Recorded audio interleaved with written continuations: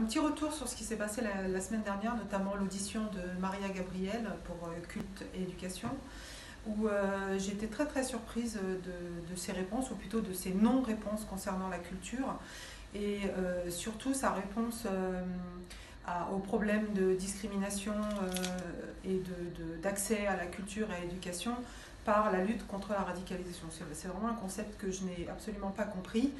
Euh, je pense qu'il est primordial de, prendre en compte tous les territoires, les, personnes oubliées, les cultures oubliées, euh, afin que nous construisions euh, une Europe unie. Et par ailleurs, je, vais me permettre de lui envoyer un, mail pour avoir des éclaircissements. Vous trouverez ci-après une, ma question et puis la réponse un peu étrange qu'elle m'a donnée. Madame Gabrielle, bonsoir et merci. L'Europe n'a pas une seule histoire, une géographie, une culture ou un mode de vie. D'ailleurs, vous affirmez dans vos réponses écrites que l'ambition de l'Union européenne est de respecter toutes les diversités, toutes les cultures. L'Europe est riche de ces diversités. Pourtant, nous savons tous que certaines cultures sont méprisées, oubliées ou sous-représentées, notamment les cultures importées, qu'il s'agisse de l'immigration ou des anciennes colonies. De plus, certains territoires européens, je pense aux Outre-mer, à la ruralité, aux banlieues ont un accès difficile aux programmes culturels, éducatifs et sportifs de la Commission. Ma question est donc double. D'une part, comment allez-vous faire pour que toutes ces cultures et diversités aient leur place dans les programmes, notamment culturels européens? Et ma seconde question, allez-vous réaliser euh, un programme permettant aux territoires aux oubliés d'avoir un accès privilégié aux programmes de la Commission en matière d'éducation, de culture et de sport? Merci. Madame Gabriel. Merci beaucoup pour vos questions. La diversité culturelle, c'est notre boussole. Dès lors qu'on envisagera toutes les actions, coopérations, mais aussi des instruments qui existent, y compris maintenant dans le cadre du programme Erasmus. Il, insiste, il existe des projets qui travaillent à l'intégration de cultures oubliées, de langues minoritaires, de langues régionales. De nouveau, le numérique peut nous être très utile.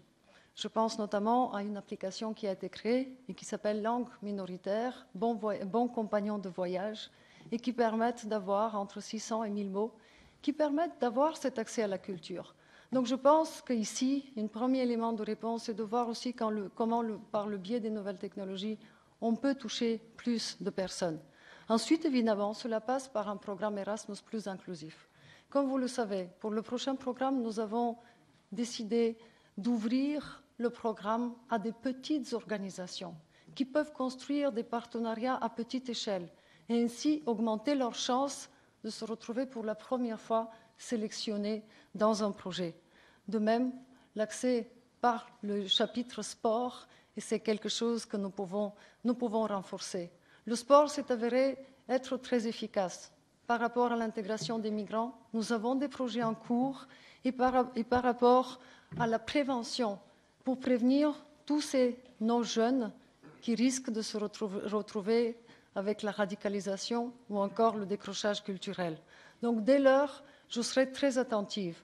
Comment, avec la mise en œuvre du nouveau programme Erasme, ce type d'action soit aussi promu? Je ne parlerai pas d'accès privilégié, privilégié, mais je parlerai d'une participation égale pour tout le monde. Et nous avons ici encore beaucoup à faire nous avons envoyé des messages clairs. Maintenant, il va falloir les remplir de contenu.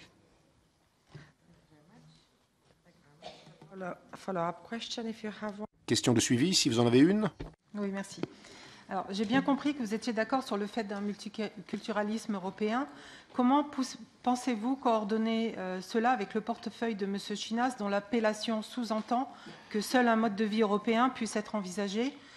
Euh, et qu'il faille le protéger de plus. Mais et dans ce cas-là, euh, quelle diversité de cultures subsisterait encore? Madame Gabrielle. En général, je me méfie de tous les ismes. C'est la référence au culturalisme, comme je l'ai dit, c'est la diversité culturelle que j'utiliserai dans mes, dans mes références. Avec le vice-président désigné Chinas et la protection de mode de vie européen, nous avons ici des actions qui peuvent nous permettre, en effet, non pas de protéger dans un sens négatif, mais plutôt d'envoyer des messages qui permettent à une communauté d'être plus proche, de se, sentir qu'on appartienne. Et c'est ça, la participation que nos jeunes, par exemple, attendent. Dans le domaine de l'éducation et de la culture, cela va passer par beaucoup de projets. Je pense tout de suite au corps européen de la solidarité. Qu'est-ce que c'est beau de voir tous ces jeunes qui partent faire une expérience et ainsi aider les enfants roms, les migrants, mais aussi d'apprécier une autre culture, de pouvoir prêter attention. Quand on regarde les, gens qui rentrent après un stage d'Erasmus, plus de 70% disent qu'ils ont pris une conscience de la valeur culturelle. Donc je pense qu'il convient à nous de garder un esprit positif et ensuite d'avoir encore plus d'actions qui permettent Merci. de dissiper tout malentendu. Merci beaucoup.